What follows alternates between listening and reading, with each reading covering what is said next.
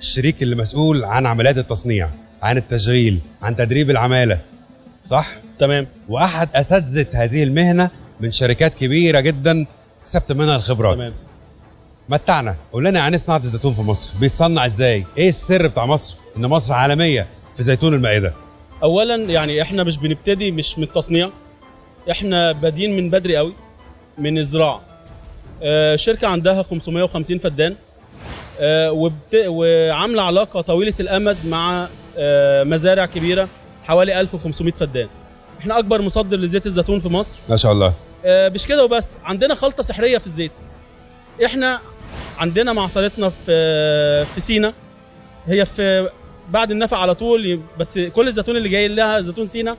عندنا سيوة وعندنا الصحراوي. فبنقدر نعمل خلطة مجمعة زيت مصر كل حاجة الحاجة الحلوة اللي فيه.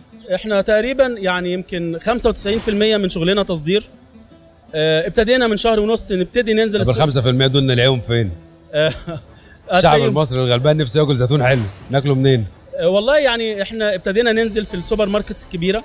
ابتدينا نروح للموزعين الكبار. لسه بقالنا شهر ونص مش كتير. آه، لأن إحنا يعني السوق المحلي آه، بقى ابتدينا نهتم بيه مؤخرا بعد الكورونا. من دروس التسويق إن أنا الأول أبدأ في السوق بتاعي وبعدين أطلع لبره. أنت طلعت لبره ولما حصلت الأزمة بدأت تدخل جوه. تمام. أكيد واجهت مشاكل. هقول لحضرتك ما امنتش بيتك الأول. حضرتك, حضرتك في في بداية كلامك أنت قلت إن إحنا جايين من شركات كبيرة جدا. تمام. آه، رائدة في المجال دوت. طبعا. مش بس شركات كبيرة إحنا كنا آه، من صناع القرار فيها لمدة 20 سنة. صحيح. سواء أنا أو آه، الشركاء يعني. أنتوا الثلاثه كنتوا مديرين آه، في المصنع. فعشنا آه، خدنا ال learning curve بالكامل آه، في الشركات اللي كنا فيها. فما ينفعش إن أنا أعيد ال learning curve تاني. لا أنا ابتديت من اللي هم انتهوا ليه. عندنا علاقات قوية جدا. عندنا العملاء كلها عارفانا شخصيا. كان عيش وملح. كان عيش وملح. مع كل العلم بت... آه، يعني إحنا ما بنشتغلش ولا عميل. في كندا في أمريكا في اليونان في أسبانيا في تركيا.